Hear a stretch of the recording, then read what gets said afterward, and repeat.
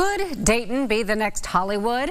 Don't put it past the Gem City, home to innovators, creators, and historical figures alike. Dayton will now be home to a major production company. News Center 7's Candace Price tells us what this could mean for the community beyond just the film buffs. A film production company says they're going to put their headquarters at this location behind me in Dayton is said to be a game changer for the film industry here.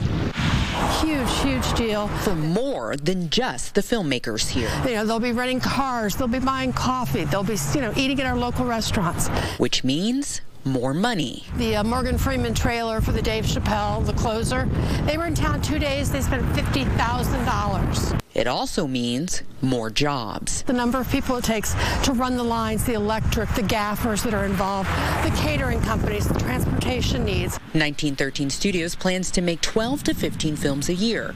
They've already purchased this more than 200,000 square foot facility on Springfield Street in Dayton. They will specialize in smaller films that are three to five million dollars, which in the scheme of movies, that's not huge. And they know that they'll get a lot of first-time producers and stuff. First-time producers like the students of the Tom Hanks Motion Picture School at Wright State University. We tell our students all the time, like, you don't have to be in LA or New York or Atlanta to like work in movies, uh, to make things that are substantial. Two of 1913's founders have roots here in Dayton, and that's why Grigsby says they understand the value. It's so, you know, so affordable here, and the work ethic of the people in the Midwest is amazing. So the timeline for this studio to open is going to be late 2023, but they say that could change. In Dayton, Candace Price, News Center 7.